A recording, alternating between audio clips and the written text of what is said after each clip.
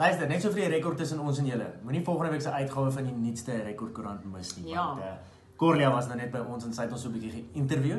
Nou as jy nie weet wie ons is nie, my naam is Q-Man. Ek is Borrie. uh, beter bekend vir die Lae reeks op talle social media platforms. So as jy bietjie meer wil uitvind die storie agter die storie mm. van die Lae reeks, waar dit alles begin, miskien ons Body Box charity wat ons hardloop of miskien wil jy net weet of Body regtig so moeilike vrou is soos in die episodes, Ja. maak seker jy kry volgende week jou uitgawe van die rekordkoerant. Cheers. Cheers.